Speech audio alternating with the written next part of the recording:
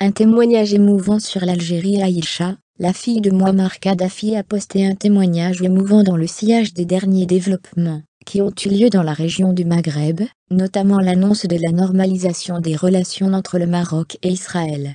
Aïcha Kadhafi, réfugiée au sultanat d'Oman, qu'elle affirme considérer comme son second pays, a raconté les derniers instants qui ont précédé la fuite de la famille de l'ancien dirigeant de la Jamaïria vers l'Algérie et la décision de ce dernier de mourir en martyr sur la terre de ses ancêtres.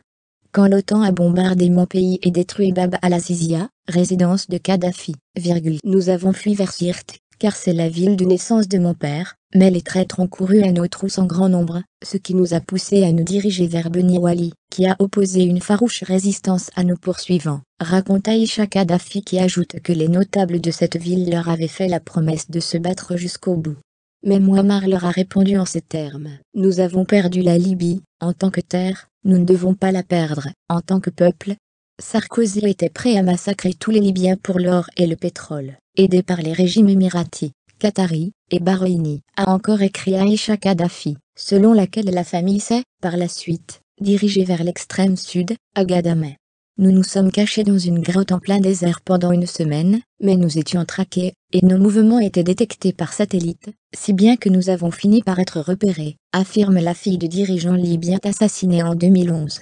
Mon père pria de Raqqa à même, le sable puis nous réunit pour nous demander notre avis sur le moyen de nous sortir de cette situation.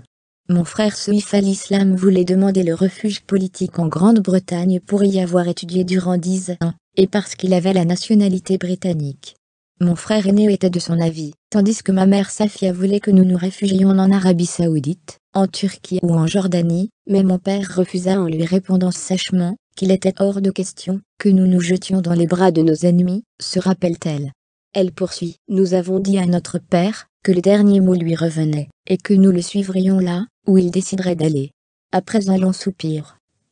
Partez en Algérie, en 50 ans, les Algériens ne nous ont jamais fait de mal, en Algérie, vous vivrez libre. L'Algérie ne vous livrera pas à l'OTAN, et l'OTAN n'osera pas violer le territoire algérien pour vous y récupérer. J'en suis convaincu.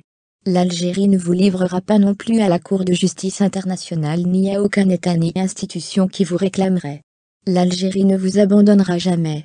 Mon frère Camille a interrompu pour lui demander pourquoi il ne parlait que de nous, en lui demandant s'il n'allait pas nous accompagner. Mon père a alors répondu « Je suis le compagnon de Chemin Guevara, je suis le compagnon de Tito, j'ai côtoyé tous les héros, les libres et les révolutionnaires, il n'est pas concevable que je me rende, que je fuis ou que je meure sur une terre autre que celle d'Omar El Mokhtar. Je suis un soldat révolutionnaire, qui porte le Coran dans son cœur, se remémore sa fille qui a donné naissance à une fille adjacente